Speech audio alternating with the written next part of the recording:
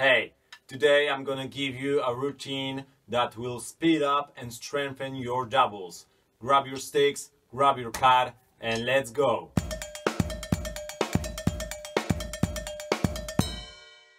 The first exercise is a slow double stroke roll with accented every second hit of your doubles.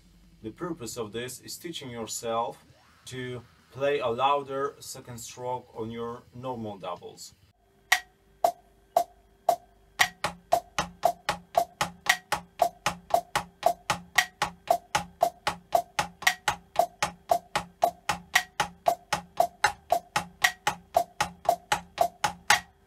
The second exercise is more complex.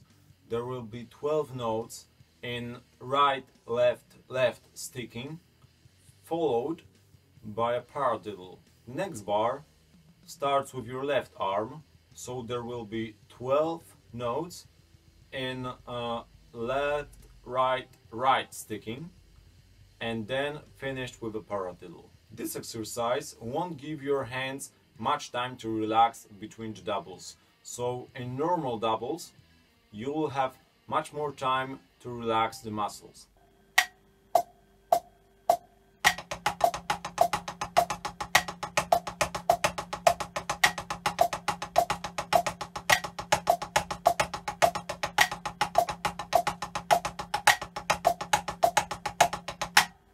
The third exercise is more a speed and subdivisions training. It's a one bar of 16th notes double stroke roll followed by a second bar of 16th notes triplets double stroke roll. Once you get the movement done, work on start of every bar and then try to push up the tempo.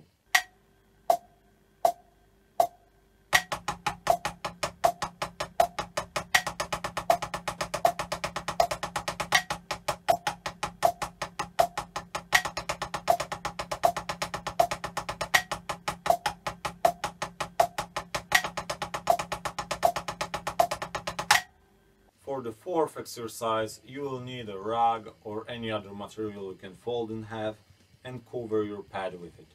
Then just play a double stroke roll. This material will make your wrists work much harder because it reduces the rebound of your sticks. Don't overdo it because it's really hard for the muscles in your wrists.